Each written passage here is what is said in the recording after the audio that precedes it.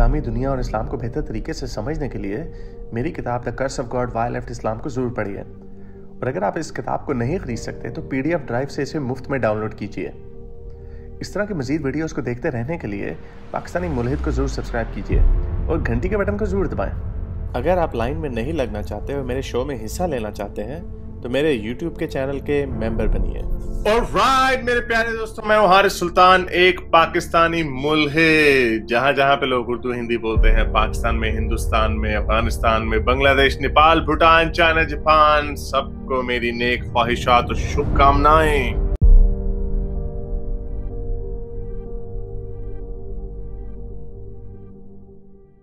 हाँ सबसे पहले ज़रूरी हजरात, एक ज़रूरी ऐलान सुनिए। अभी एक सऊदी मौलवी की वीडियो लीक हुई। वीडियो लीक नहीं उसने वो बात कर रहे थे किसी के साथ, उन्होंने कहा कि हम ऐसे ही खुशियाँ मनाते फिरते हैं, पुठे होके नाचते रहते हैं कि भाई Islam is the fastest growing religion in the world तो वो मौलवी साहब खुद कह रहे थे कि हम सबसे ज़्यादा जो जो छोड़ रहे हैं मज़हब को, वो भी सबसे आगे मुसलमान ही है, यानी उसमें एक्स मुस्लिम है अब आगे। तो ये अब इनको बात आहिस्ता आहिस्ता समझ आ रही है। हम तो पिछले दस साल से इनको बता रहे थे। और अब ये जो हमने अपने पंजे जो है ना पूरी इस्लामी दुनिया में गाड़ दिए हैं। पाकिस्तान में हम काम कर रहे हैं ईरान में और लोग काम कर रहे हैं अरब दुनिया में और लोग काम कर रहे हैं। मलेशिया इंडोनेशिया में थोड़ा काम हो रहा है उधर ज़्यादा नहीं हुआ अभी। लेकिन उधर भी हो जाएगा शुरू काम। मलेशिया इंडोनेशिया को बेचारों को ऐसे लोग इग्नोर कर देते हैं। बेचारे थोड़े शायद आ, वो ऐसी गलत बात हो जाएगी रेसिस्ट बात हो जाएगी लेकिन जिस तरह का हम लोगों के कल्चर है कि फार जो फार ईस्ट है उनको हम सुतेलों वाला उनके साथ सलूक करते हैं कि यार चीन जापान छड़ो ना तो इधर सारा फोकस इधर है अपने और सबसे आगे हमारे सब कॉन्टिनेंट सबसे ज़्यादा मुसलमान साठ फ़ीसद जो मुसलमानों की आबादी है वो इधर है पाकिस्तान हिंदुस्तान और बांग्लादेश में। आ, तो इधर बड़ा हमने काम मसीती तो चुके है। और आहिस्ता ऐसा भी देखना, ये दो ढाई सालों में पता नहीं लगना। पता तो इन सबको है कि क्या हो रहा है, ये भी इग्नोर कर रहे हैं कि शायद ये हट जाए पीछे, शायद कुछ हो जाए। पिछले 1400 साल से डरा धमका के लोगों को चुप करा के बिठाया हुआ था इन्होंने। अब ये काबू हो नहीं रहा इनसे कुछ। क्या करेंगे बेचारे? ज़्यादा से ज़्यादा अपने इतनी इतनी सी टांगों वाले इतनी इतनी सी बाजुओं वाले चमूने छोड़ देते हैं फेसबुकों पे। वहाँ पे वो गालियाँ गुलियाँ देते रहते हैं। बस यही उनका काम है। उसी तरह का चिमूना आपको दिखा दूँगी। देखो, शक्ल देखो शक्ल देखो इसकी, शक्ल शक्ल देखो इसकी। किसी ब्रैड पिट का बच्चा है ये। ब्रैड पिट, इसका नाम है यासिर शकील सात नंबरी। ये यूज़र ये इसका लिंक है। समझ तो गए हो गए अब मैं क्या कहना चाह रहा हूँ। तो इसको जाके ना थोड़े से प्यारे वाले मैसेजेस भेजना इसको। हर फ़ोटो में ना हर मेरी हर पोस्ट पे फेसबुक पे जाके ना, अब इतनी, अब मैं ये तो नहीं कहता कि मैं कोई बहुत बड़ा कोई, मैं भी कोई क्रिस हेम्सवर्थ हूँ, मैं ये तो नहीं कहता, लेकिन देखो यार, क्या कौन रहा है? देखो तो सही शक्ल देखो यार, ये खसूसन ये वाली दाएँ हाथ वाली शक्ल देखो इसकी, हर फ़ोटो पे जाके लानत बरस रही है तेरी शक्ल पे, लानत खैर मुझे फ़र्क तो नहीं पड़ता इनसे, लेकिन मैं इनको कहता हूँ कि इनको, वो महलीज जिस तरह इनको टैकल करती है ना, उस तरह महलीज, मैं कहता हूँ इनको वो इनको पकड़ के इनकी मधोल देती है ना तो एनी तो ये जरा इसको, मेरे भाइयों, जरा इसको थोड़े थोड़े इसको पैगाम भेजना कि ये कितना बड़ा ब्रैड पिट का बच्चा है, इसको ज़रूर भेजना अगर मौका मिला। तो ये इस तरह के काम बेचारे कर सकते हैं। ये ऐसे बेचारे छोटे छोटे से स्कूलों में पढ़े हुए बड़े स्कूलों में पढ़े हुए, जैसे हमने पिछले हफ़्ते बात की थी, आपको मैंने वो लड़की महानूर दिखाई थी आश के रसूल और नेल पॉलिशों के ज़िक्र और ब्राउन ब्राउन लड़कों की पूंडियाँ कर रही थी वो। आशगे रसूल ये सारे बने हुए हैं। ये जुमला बड़ा, लफ्ज बड़ा मशहूर हो गया आशगे रसूल। एक आदमी मेरी फेसबुक पे पोस्ट थी, वो वायरल हो गई। तो हाँ अच्छा उस पर आगे जाने से पहले मैं आपको ये बता दूँ कुछ लोगों ने मेरे से शिकायत की, उन्होंने कहा, यार, हारिस भाई, ये कहीं आप एल जी गे कम्युनिटी कहीं आप उसको तो इंसल्ट नहीं कर रहे? एक तो हमारे जो, ठीक है, मैं मैं समझ सकता हूँ ये जो उनकी क्रिटिसिज्म है, वो एक अच्छी पोजीशन से आ रही है। वो अच्छी पोजीशन से इसलिए आ रही है क्योंकि सारी बात है क्यू कम्युनिटी के साथ एक इम्तियाजी सलूक किया जाता है डिस्क्रिमिनेशन की जाती है स्पेशली मुसलमान मुल्कों मुसलमान मुल्क तो हद गंदे काम में सबसे आगे है ना। तो वो उनके ऊपर बुरा सलूक करते हैं उनके साथ। तो वो मार्जिनलाइज पहले ही मार्जिनलाइज है तो आप वो कहीं आप उनका मज़ाक तो नहीं उड़ा रहे, नहीं तो उनके खिलाफ नफरत फैलेगी बड़ी सही बात है।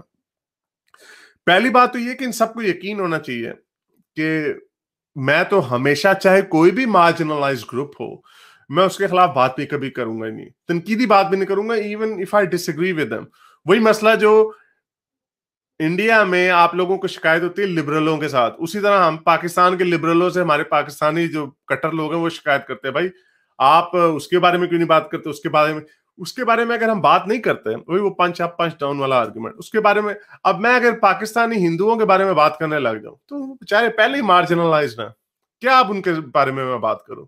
पहले ही उनकी लड़कियाँ उठा के ये ले जाते हैं। पहले उनके मंदिर तोड़ दिए, पहले उनका मंदिर नहीं बनने देते। तो मैं उनके ऊपर क्या बात करूँ?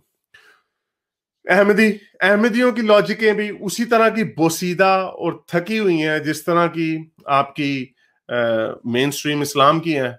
उनके ऊपर भी मैं इसलिए बात नहीं करता कि उनके ऊपर जुल्म, पहले ही बड़े जुल्म होते हैं बेचारों के ऊपर। तो क्या बात की जाए उनके ऊपर? तो यही वजह है कि इंडिया में भी बहुत सारे जो आपके लोग हैं, जो आपके लिबरल लोग हैं, वो मुसलमानों पे इसलिए बात नहीं करते क्योंकि उन्हें लगता है कि इससे मुसलमानों के ऊपर जुल्म होगा। तो ये मेरा ख्याल जो कम्युनिटी के अपने लोग हैं ना, ये उन्हीं का फ़र्ज़ बनता है कि वो वही अपनी कम्युनिटी में से अपनी सेल्फ क्रिटिसिज्म करें। तो एनी तो तो आशगे रसूल जो मैंने कहा, आशगे रसूल। खैर, आज बैनर ही चला देते हैं इनका। थोड़ा मज़ा लगाते हैं इनका। ये वाले, आशगे रसूल जो है।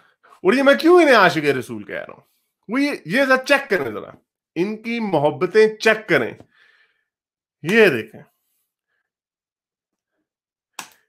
ये देखें। फुल चुमिया चाटियाँ किसिस चल रही है? एडा कोई एडा एडवांस तो अमरीका भी नहीं होएगा? ये देखो, ये मौलवी साहब को तो आखिर आई हुई देखो जरा सी कहा उनका हाथ और वो चुमिया चाटिया, ए ए, देखो। कैमरे के साथ पोज बना के पपियाँ ले रहे हैं, वो बच्चा कितना खुश हो रहा। तो जितना ये प्यार का इजहार करते हैं, जितने ये चुमिया चाटियाँ चला रहे हैं, पता नहीं बात अंदर से कुछ हो रहा है। तो हाँ वो जो भाई, जो लोग हमसे ये शिकायत मुझसे कर रहे थे, कहीं आप ये गैस की तोहीन तो नहीं कर रहे?